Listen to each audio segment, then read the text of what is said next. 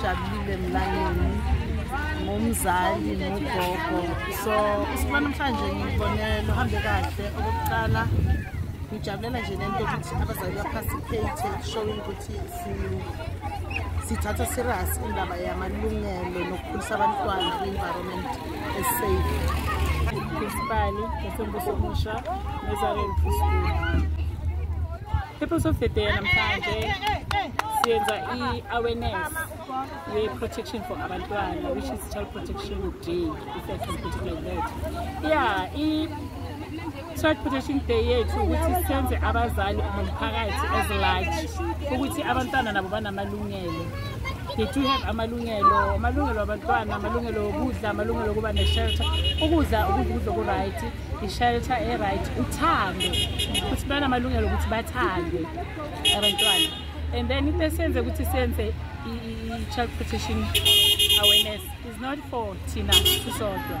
all over mhlaba wonke kunida ukuthi abantwana babe nayo i-awareness ukuthi kumele bathande banama-right ukuthi kumele baye ecrash banama-right okuthi baye esikoleni that's why esikhathini esiningi thola sibafundisa ama-restration akhuluma ngokuthi banga-abuzwa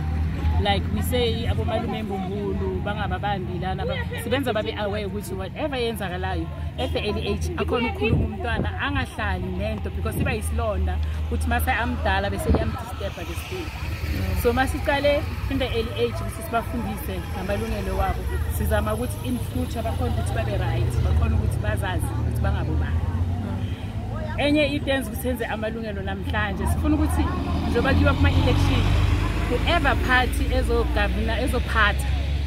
ibe ibe yazi ukuthi nathi sikhona sibhekisise singama-principal singabothisha basema-crash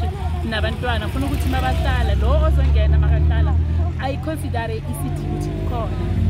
ayiconsidere ukuthi nathi sikade abantwana sinamaningi mhlawumbe nabangasifaka nathi whatever kuma-plans wabo singenza more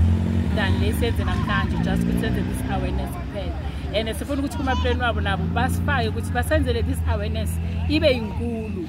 kube yinto enkulu babize wonke ama-centers and kuwo wonke amalokishi and then basibizele bonke abantu and then basifundisele abantwana e-age